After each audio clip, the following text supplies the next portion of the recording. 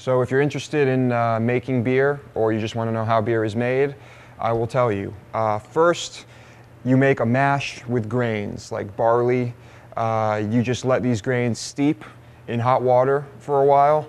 And um, once the water becomes colored and absorbs the flavor of the grains, uh, you will strain it.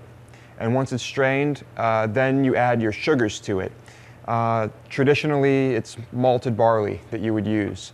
And uh, once you add that malted barley to the mash, what you have is called a wort, W-O-R-T. And wort is uh, basically just, it will be a very sweet liquid.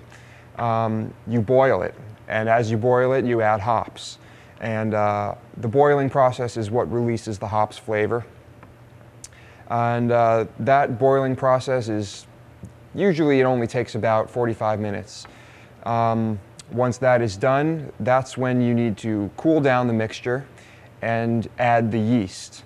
Once you add the yeast, uh, then of course it ferments and uh, the yeast converts all those sugars to alcohol. Once that is done, um, you need to carbonate the beer.